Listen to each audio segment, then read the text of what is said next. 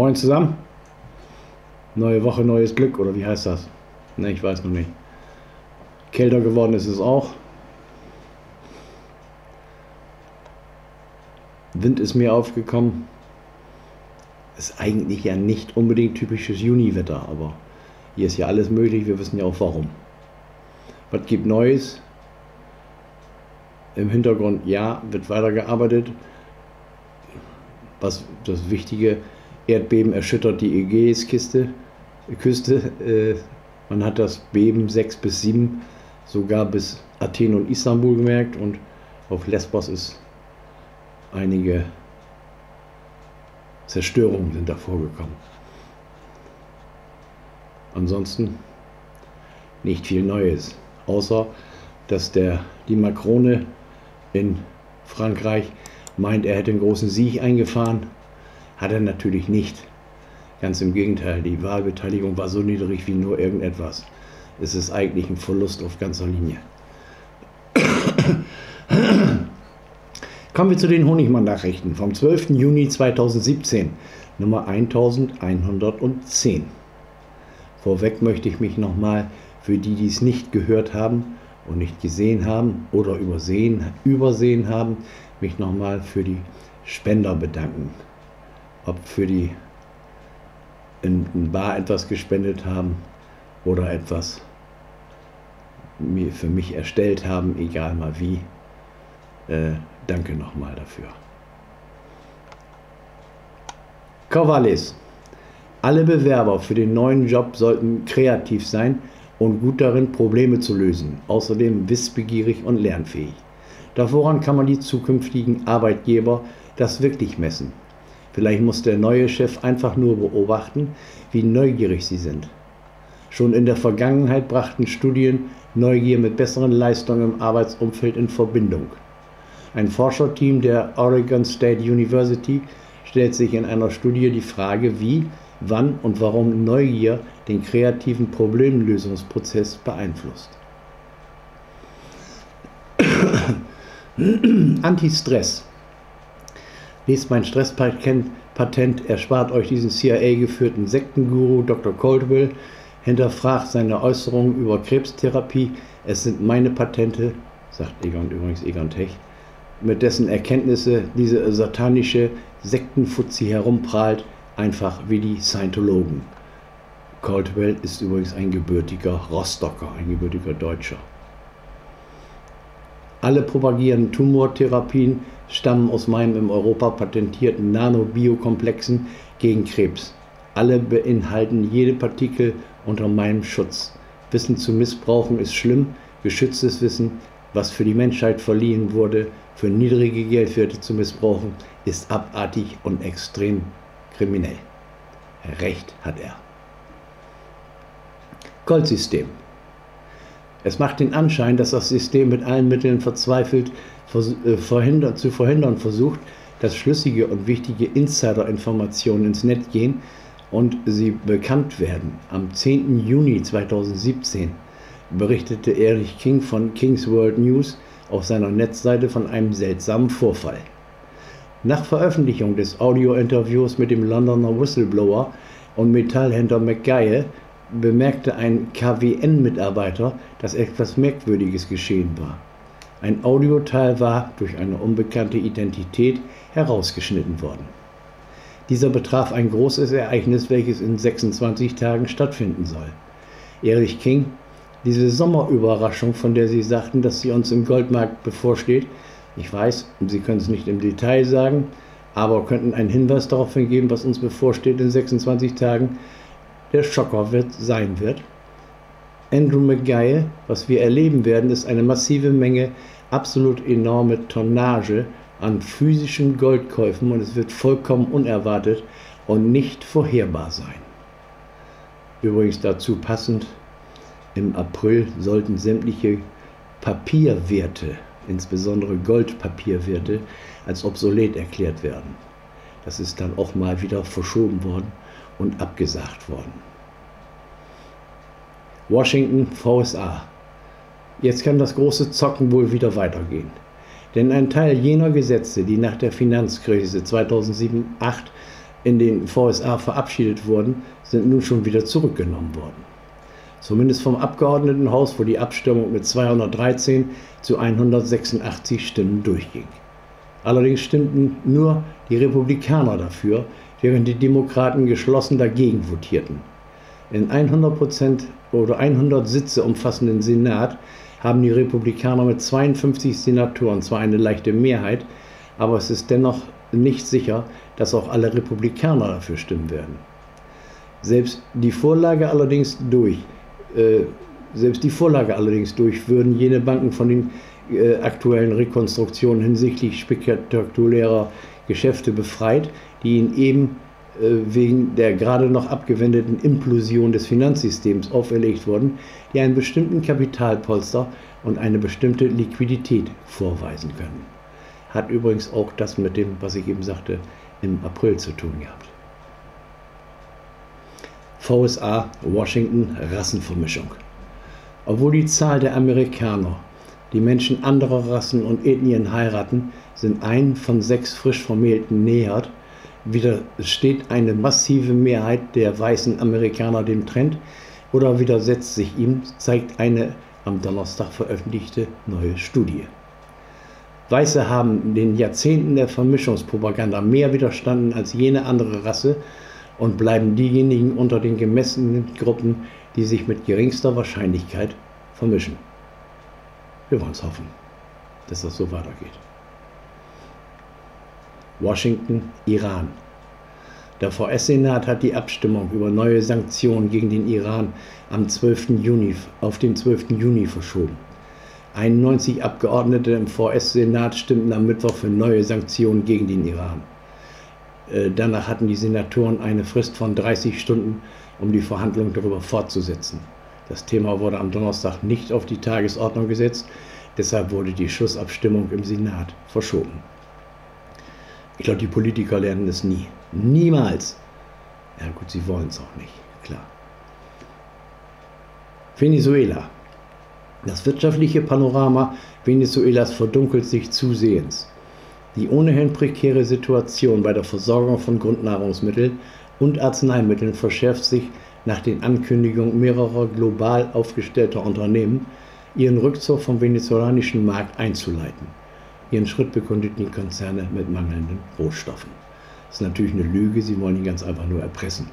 Der Ami braucht Venezuela wegen des Öls. Ein Drittel des Öls Ölverbrauches in Amerika kommt aus Venezuela. Ein Drittel. Das ist eine Menge. Brasilia, Brasilien. Das oberste Wahlgericht in Brasiliens Staatschef Thema am Freitag freigesprochen. Ihm und Dilma Rousseff waren eine illegale Finanzierung ihrer gemeinsamen Wahlkampagne 2014 vorgeworfen. Von den sieben Richtern wurden die erdrückende Beweislast zwar anerkannt, Drei von ihnen sahen diese dennoch nicht als ausreichend an. Der Anschlag gab äh, Gerichtsvorsitzenden Mendes, der Ausschlag gab Gerichtsvorsitzenden Mendes. Er hat seine Stimme für den Freispruch mit der Gewährung der Stabilität des Landes begründet. Nee, mit dem Backschisch, den er bekommen hat. Und mit dem, wo er dranhängt und die ihm gesagt haben, was er zu tun und zu lassen und wie er zu urteilen hat. So einfach, denn sie hängen alle, diese Leute, alle an den Konzernen dran. Khartoum, Sudan, Jemen. Sudan will weitere Soldaten zur Teilnahme an den Militäreinsätzen der von Saudi-Arabien geführten Kriegskoalition in den Jemen schicken. Der sudanesische Kriegsminister Salem kündigte am Freitag die Vorbereitung und die Entsendung neuer Soldaten in den Jemen an. Nahe Osten Golfkriegsgefahr. Die Zeichen am Persischen Golf stehen auf Krieg. Nach den Iran-Anschlägen und den Katar-Isolationen sieht es danach aus, dass die VSA und Saudi-Arabien militärisch gegen den Iran vorgehen werden. Werden vorgeschoben von den? Richtig. Der Krieg gegen den Terror wird wahrscheinlich der Grund für die Rechtfertigung eines Krieges sein. Die neuerlichen Vorwürfe gegen Katar, das Emirat unterstützende Terroristen und Besitzer einer Atombombe, könnte der gesunde Grund für eine Kriegsrechtfertigung sein. Wichtig bei dieser Inszenierung dürfte auch die Tatsache sein, dass Katar und der Iran das größte Gasfeld der Welt besitzen. Nicht nur das, man muss auch weitergehen, Da ist angeblich ein Vertrag gemacht worden über mehrere Milliarden, 100 Milliarden an Waffenlieferungen für Arabien. Darf ich mal lachen? Arabien ist die Munitionskammer der Amis. Die haben im Prinzip alles. Also wird es nur weitergegeben an die IS. Istanbul, Türkei, Katar. In der Krise zwischen den arabischen Golfstaaten hat der türkische Staatspräsident Erdogan dem Emirat Katar weitere Unterstützung der Türkei zugesichert. Wir werden Katar weiterhin jede Art der Unterstützung geben, erklärte der Politiker, Politiker am Freitagabend bei einer Ansprache zum Fastenbrechen in Istanbul.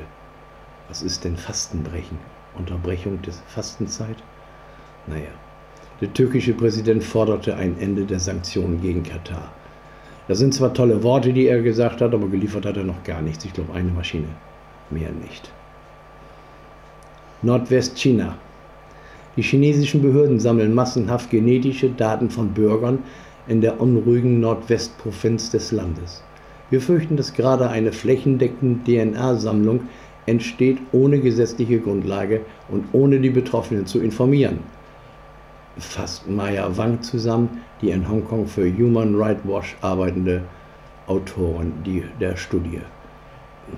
Wofür ist Human Rights Watch eigentlich gut? Wenn, wenn sie sich nur in sowas reinhängen. Da gibt es ganz andere Sachen, wo sie mitmischen können. Sie tun es aber nicht. Also weiß man, dass sie den Eliten gehört. China Philanthropen. Eine aktuell am Donnerstag veröffentlichte Hurun-Philanthropie-Liste zeigt, dass auch die Schwelle für die Aufnahme in die äh, Huran-Liste der Reichen in den vergangenen zehn Jahren doppelt so hoch geworden ist die Schwelle zur Wohlständigkeit unverändert geblieben ist, wobei auf die träge Entwicklung von Chinas Wohltätigkeitsarbeit hindeutet. Moskau, Seoul. Russland hat seine von der Sowjetunion übernommenen Schulden bei allen Gläubigern beglichen. Ausnahme ist bisher Südkorea, wie der russische Vizefinanzminister Swartschak am Freitag mitteilte. Seit 2005 hat Russland keine Schulden vor dem IWF. Im vergangenen Jahr hat Moskau mit seiner Zahlung von 135,1 Millionen Dollar an Bosnien und Herzegowina seine letzten Verbindlichkeit aus den Sowjetzeiten getilgt. Das kann, glaube ich, kein anderes Land dieser Welt vermelden. Vielleicht Liechtenstein oder ähnliche. Moskau, Syrien. Die Nachrichtenagentur RIA Novosti zitierte eine aktuelle Stellungnahme des russischen Generalstabs zum aktuellen Verlauf der Kriege in Syrien. Nach der Einigung auf der Deeskalationszone in dem von jahrelangen Gewalt gezeichneten Land im Mai habe sich die Lage grundlegend verbessert, sagte Sergei Rutskoy, Chef der Hauptverwaltung Operatives im russischen Generalstab. Der Bürgerkrieg in Syrien ist fast de facto gestoppt worden so der General.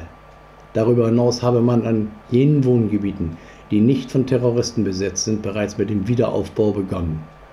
In den freien Regionen setzte man die Strom- und Wasserversorgung wieder instand und reparierte Straßen. Viele Flüchtlinge würden heimkehren.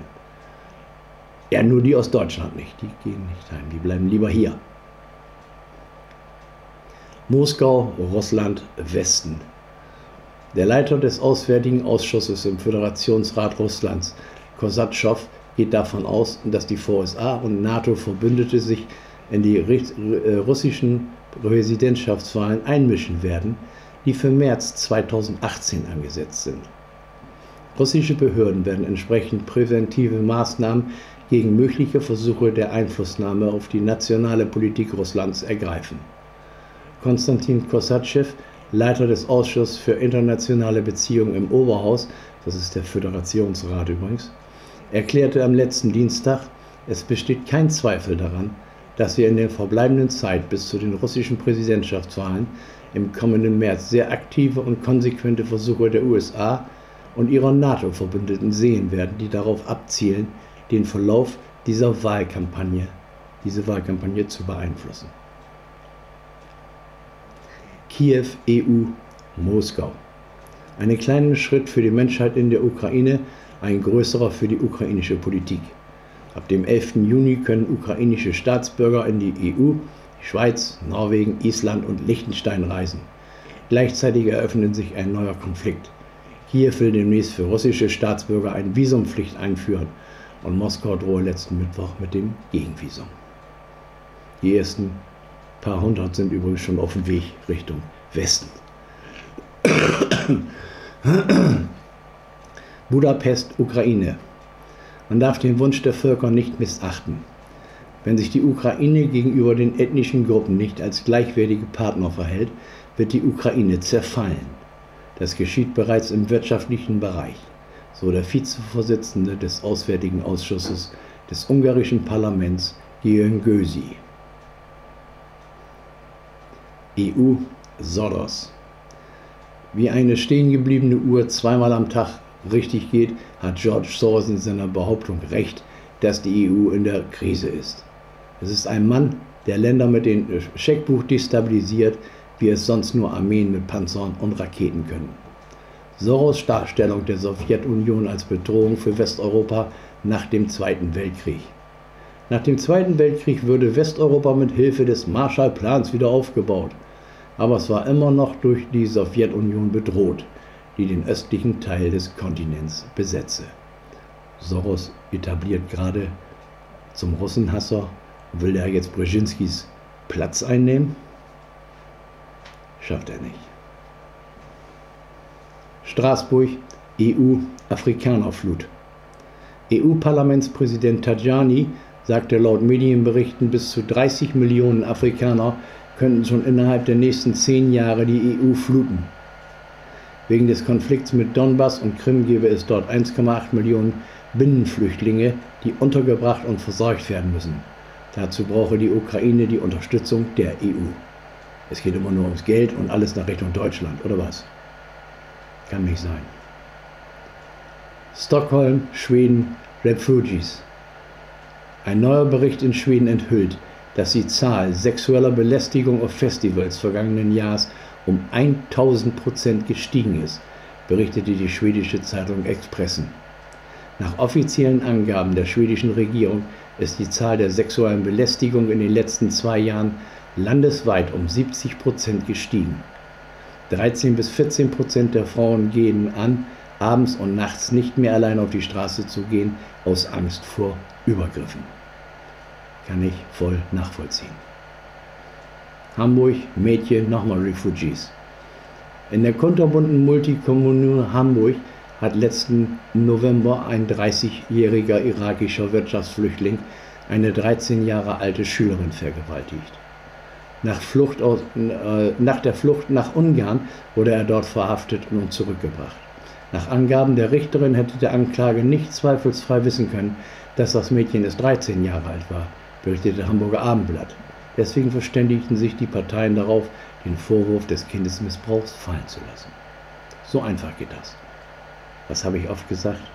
Die Richterinnen sind noch viel schlimmer und hässlicher gegen ihre eigenen Artgenossen, als es männliche Richter sein können. Bonn. Das Geschehen ließe sich auch auf Kürzungen zusammenfassen. Asylbewerber wird bei Vergewaltigung gestört, springt auf der Flucht vor der Polizei in den Rhein und wird gerettet.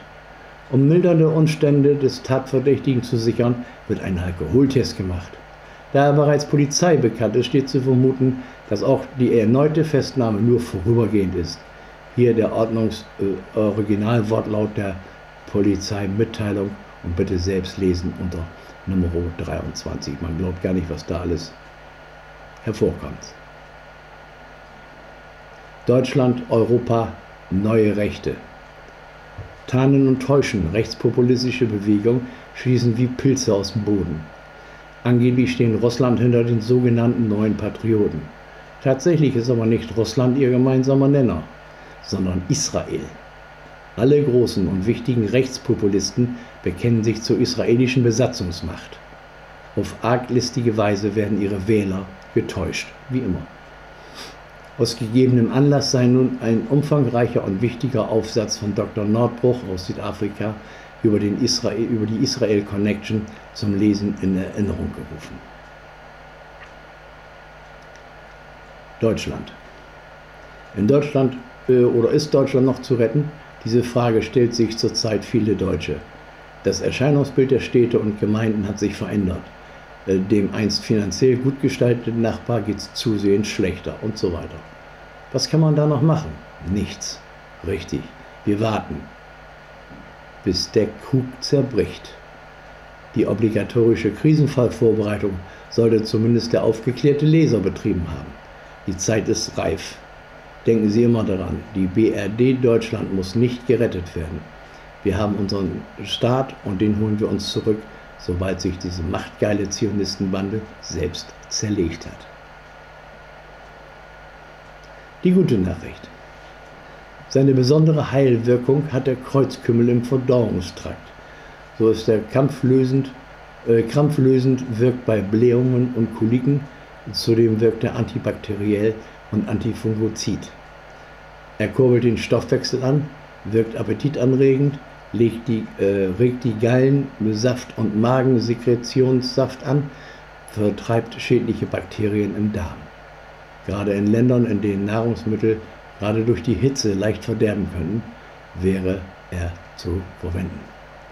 Aufpassen muss man, wenn man die Kreuzkümmelblüte abbilden will.